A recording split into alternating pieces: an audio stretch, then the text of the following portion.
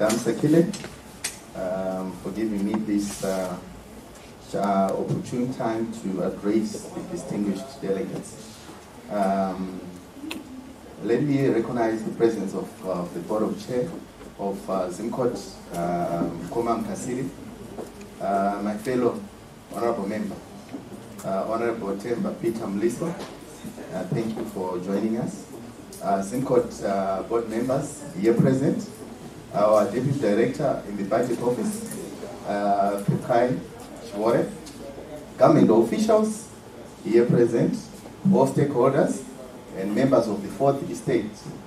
Uh, I want to thank you very much, and uh, I know the significance that you played, especially when it, when it comes to media.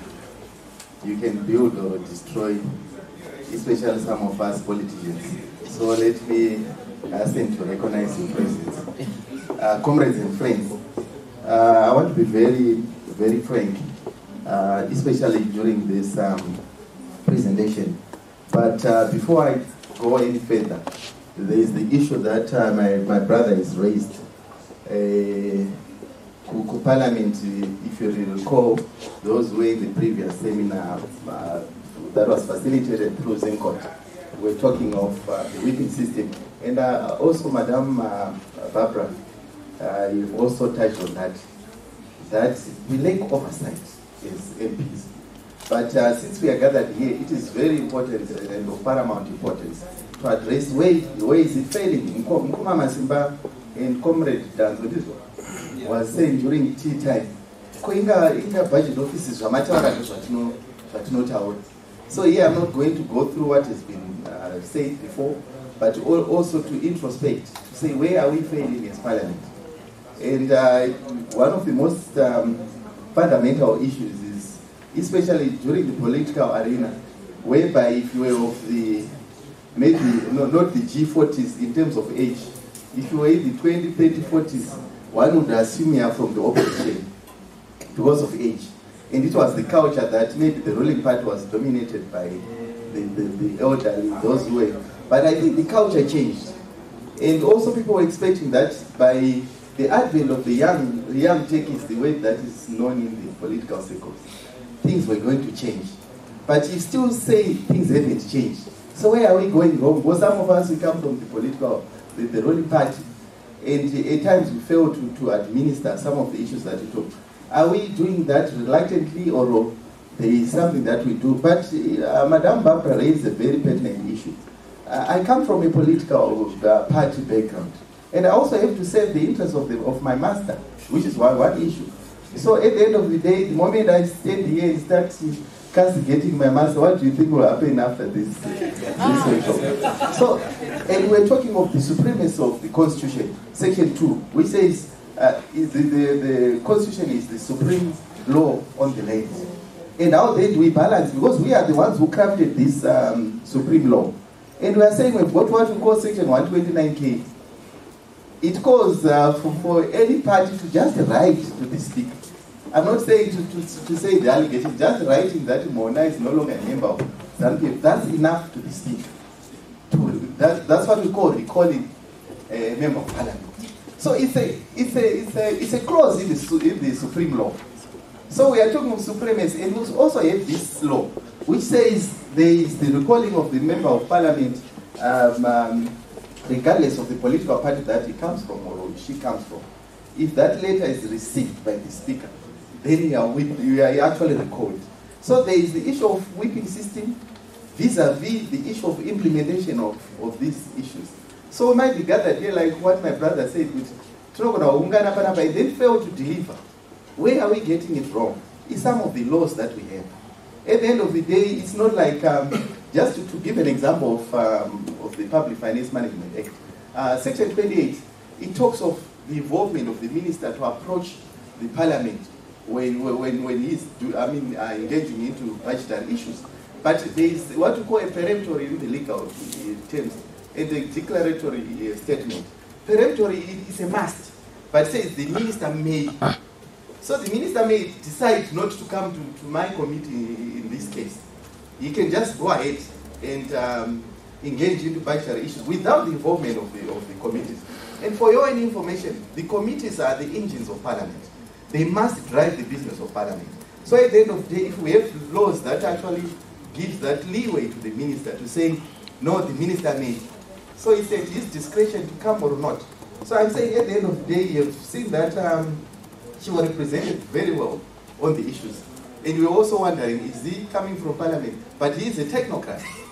but what he was saying, I cannot say it here, but I'm just giving an example.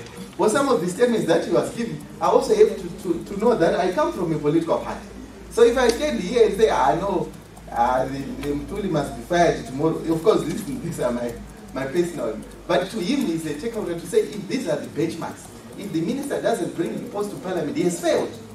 But we are saying with the new, new dispensation, I'm also able to say, it's, it's not what we suggested, what we proffered as a committee, that wasn't captured. We had about 54 items, I remember, uh, is that correct, uh, that we came through public hearings, that were also embraced by the Minister of Finance in his uh, budget. So at the end of the day, it's not like uh, whatever we, we say is not going to be taken on board. And you also are also mandated through Section 141 of the Constitution to say you must participate in the issues to do with uh, the governance of this nation. But surprisingly, uh, the last time we were together through ZimCoats, uh, maybe a month, some few weeks before, I said we are having a microfinance amendment bill, HB 11 of 2018. That was gazetted on the 21st of December, uh, 2018. And we're calling for the people to come and proffer their views and suggestions. But to tell you, we're struggling to have maybe 50 or so members. And this is the nation of Zimbabwe. At the end of the day, the, the amendment goes through. And we, we gather here and say about ah, this microfinance bill as the way it was crafted. So who is to blame? So we are also to blame in terms of the citizens.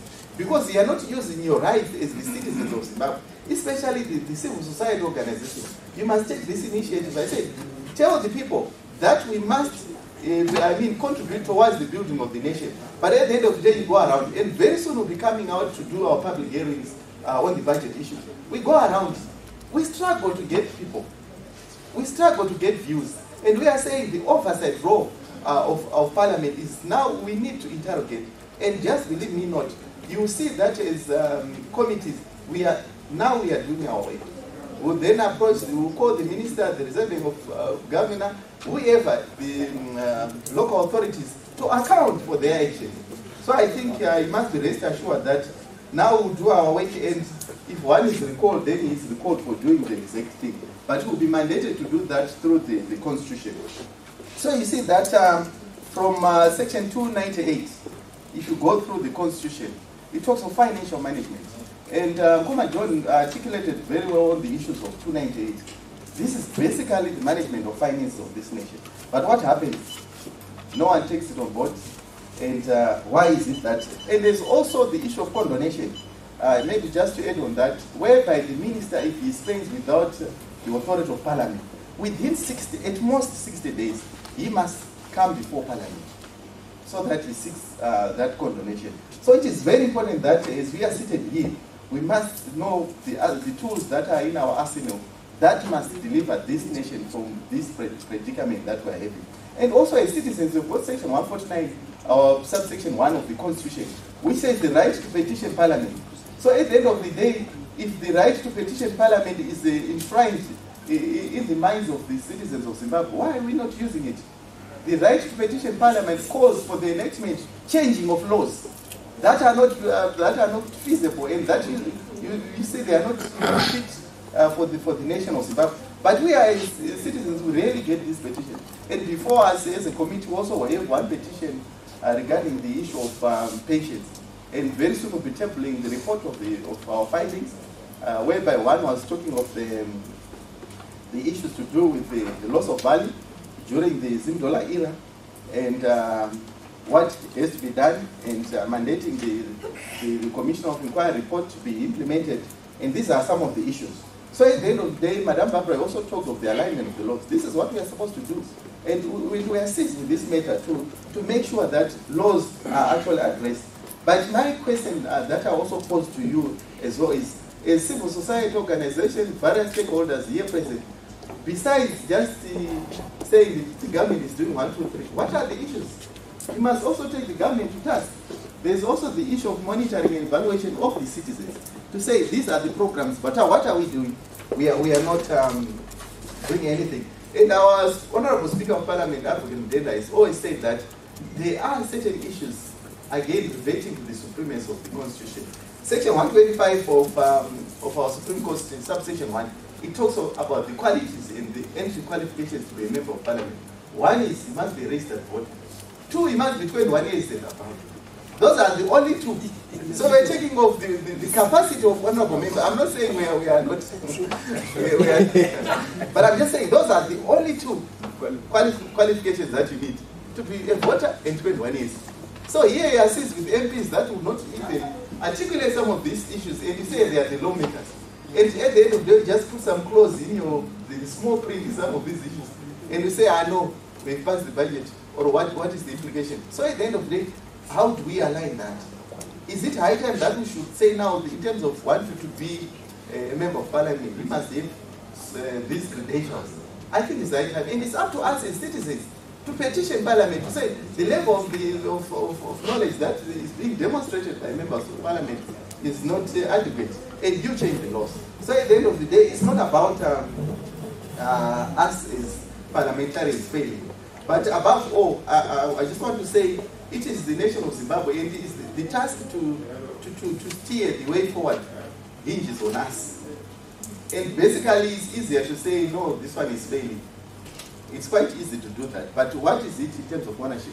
I always give an example of my brother sitting here, uh, Honorable Mliswa. Uh, his frankness and his representative roles. That even if uh, before he was, um, you, you, you, I mean, before he was the, the chairman of the Mines Committee, and uh, the issues that he was articulating in that committee, vis-a-vis some of the committees of parliament that we have, how then we strike a balance to say, when one is coming from the opposition perspective, because in committees we don't have parties, we have honorable members to discuss real issues. And you find that real issues emanate from committees. So try us, equip us, and be friends of these committees so that when you've got issues, you are free to, to, to communicate through the client, through the chairperson. chairpersons, have issues discussed. And also I'm happy to say that uh, if the president has embraced the issue of uh, zero corruption, why can't you test us as parliament to see these are the issues uh, get these issues and then we take it from, I mean, when, I mean, take it uh, on from there.